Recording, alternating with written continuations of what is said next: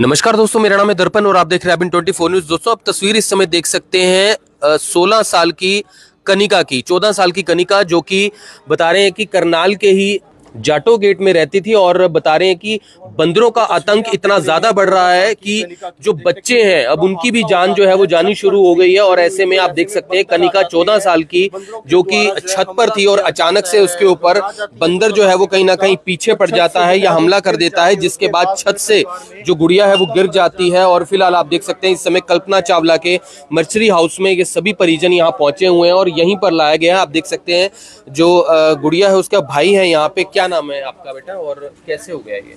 दीपक नाम है जी मेरा। बस ये रोज जाती थी ऊपर घूमने के लिए।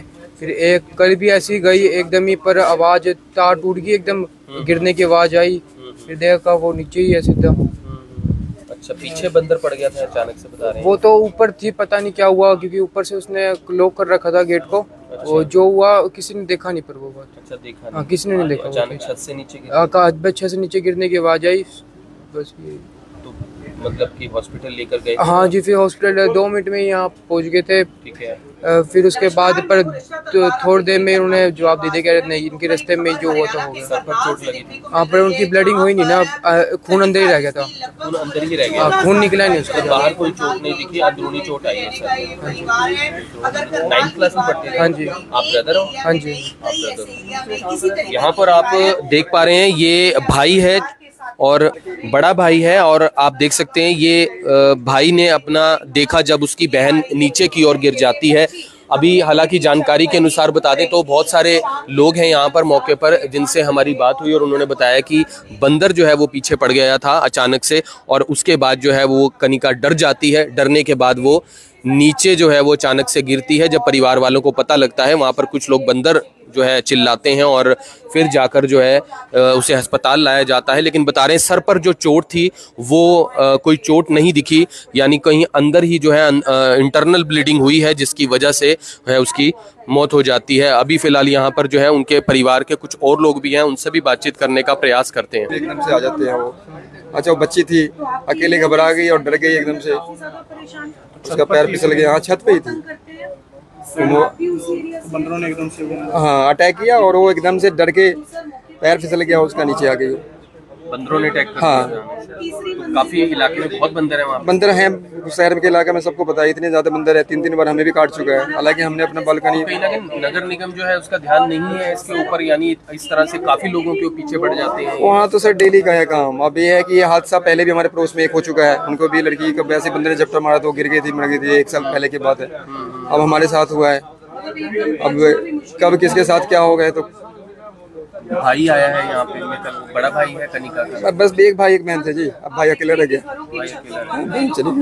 एक बेटा एक बेटी एक बेटा आप क्या लगते थे कनिका? मैं ताऊ आप ताऊ करते हैं। तो प्राइवेट जॉब करते हैं। प्राइवेट जॉब करते हैं। और जाटू गेट में रहते हैं। जाटू गेट में रहते हैं। बीस पच्चीस साल से हम वहीं रहते हैं। कह रहे हैं अस्पताल में लाए कोई ऊपर से कोई इंटरनल ब्लीडिंग हुई है बता रहे हैं। अंदर से ये थे। मतलब हॉस्पिटल में पूरा कोशिश किया लेकिन उन्होंने जवाब दे दिया जवाब भी दे दिया जवाब धारा ले गए थे।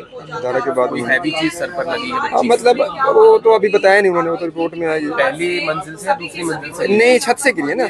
हमारा तीन फ्लोर का मकान है तीन फ्लोर हाँ। ग्राउंड यानी थर्ड फ्लोर से मतलब फ़र्स्ट सेकंड पे रहती है और सेकंड फ्लोर से ऊपर सेकंड फ्लोर की छत से। हाँ मतलब थर्ड फ्लोर का रूफ हो गया वो। हाँ हाँ वहाँ पे हमारा सारा कंप्लीट बना हुआ है रूम भी है बाथरूम भी है आराम से टहलती है सब कुछ खाना पीना सोना सब होता है।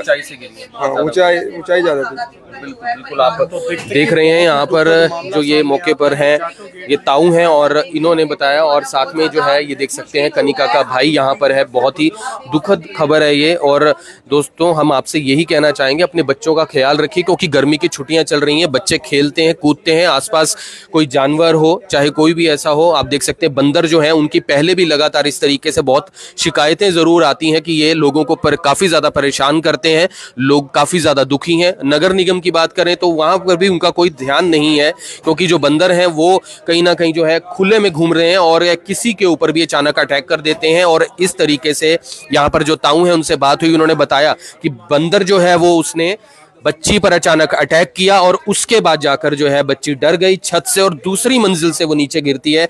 अब दूसरी मंजिल का मतलब आप लगा लीजिए लगभग लगभग तीस फीट ऊपर से नीचे की ओर गिरना कितना ज़्यादा घातक होता है। आपको बच्ची की हमने तस्वीर भी दिखाई है। अब आप समझ सकते हैं कि परिवार पर क्या बीतरी होगी। एक भाई और एक बहन।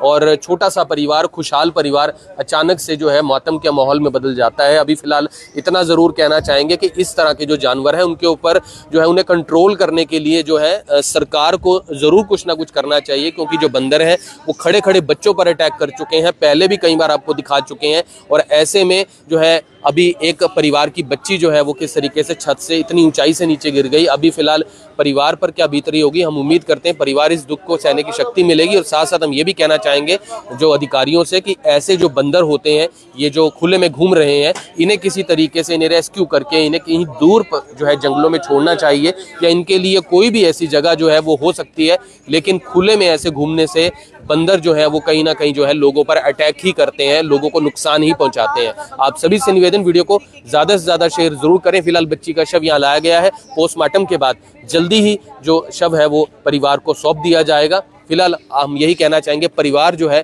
वो इस दुख से ज़रूर उबर पाएगा। अभी परिवार देख सकते हैं, अंदर की ओर जाता हुआ यहाँ पर नज़र आ रहा है। शव अभी अंदर रखा गया है यहाँ पर और यहाँ से शव जो है अभी पोस्टमार्टम जो आगे की जो कार्रवाई है वो फ़िलहाल की जाएगी और उसके बाद जो शव है वो परिवार को सौंपा जाएगा। आप सभी से निवेदन वीडियो को शेयर करें, फिर जुड़ेंगे ट्वेंटी के ऊपर। तब तक के लिए।